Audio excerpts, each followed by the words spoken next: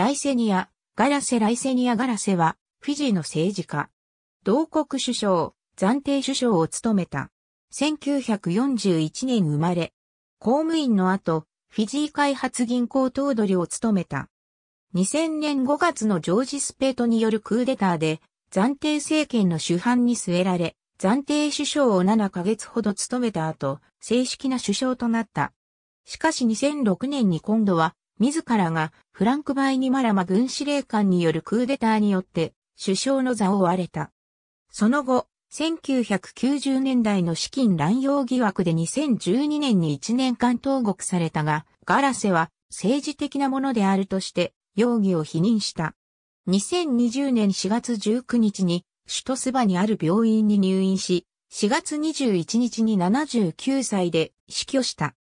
AB、レーシーニュガラセ、フォーマー、フィージープライムミニスター、ダイズイン、スバーフター、ショートイルネス。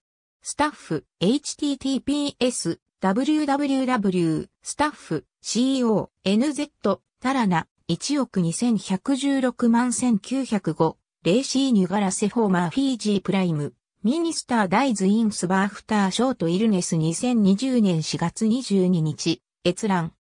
ABC、レーシーニュガラセ、フォーマー、フィージー PM、ブックエンディットバイクズ、ダイズアット79。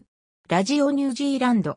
https, www, rnz, co, nz, インターナショナル、パシフィックニュース、414,735。レーシーニュガラセフォーマーフィージー PM、ブックエンディットバイクズダイズアットマイナス79 2020年4月22日閲覧。